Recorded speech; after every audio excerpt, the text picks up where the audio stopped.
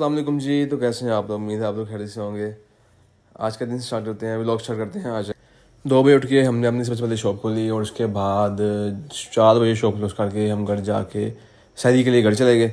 वहाँ पे आज था पुलाव। पुलाव मिले सहरी में तो मैं गया तो मज़ा ही आ जाए।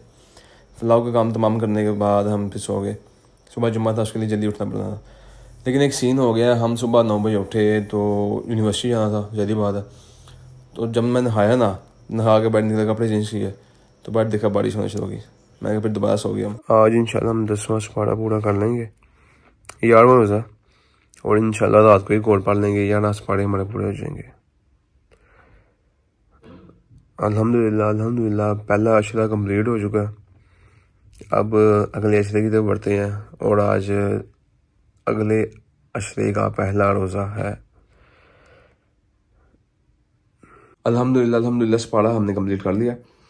अब चलते हैं थोड़ा सा फ्रूट लेते हैं।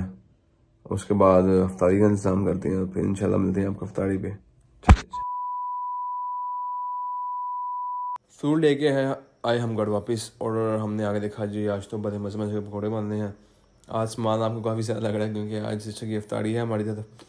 और साथ में रोल भी थे ब्रेड रोल और पकौड़े फ्रेश बनने थे, मुँह में पानी आ रहा था लेकिन लेकिन फिर भी हमने वेट कर लिया।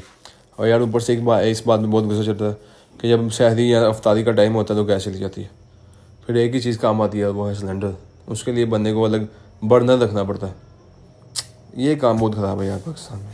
चलो कोई नहीं, ज़िंदगी है, हर एक चीज़ साथ साथ ही है, फिर कुछ ना कुछ तो करना पड़ता है फिर हमने अपनी अफ्तारी ली और फिर चले गए शॉप पे, और ये चेक करो आपके बड़े बड़े बढ़िया और से दही बड़े दही बड़े भी थे साथ में।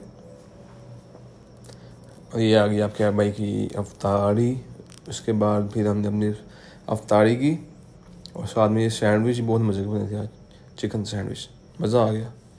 इसके बाद क्या इसके बाद क्या करने का कुछ है नहीं था शॉप पे बैठना था। तो होपफुली आपको आज का भी लोकेशन लगा होगा लाइक और सब्सक्राइब कर दें।